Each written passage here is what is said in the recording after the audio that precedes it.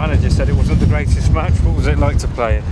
Yeah, well, you know, as you can tell, the, the weather conditions, you know, weren't, weren't the best, but, you know, we've got an adapter, adapt to that, and this is a very hard place to come, and I think our, our motto really at the, end of, at the end of the game is if you can't win, then don't lose, so we'll look back at it, and, you know, it's a good point on the road. And how tricky is it? Because obviously you play with the against the wind in the first half, and then it's with it in the second half. Mm -hmm. You've just got to adjust your game.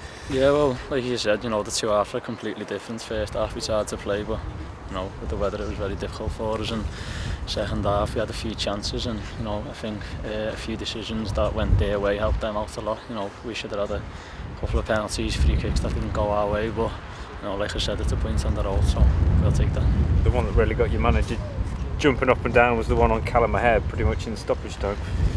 Yeah, well, that's to me that's a clear penalty. You know, he's went right through the back uh, of him, so I don't really know what the referee's seen there. But you know, it's been and gone, so that's that's not really my decision.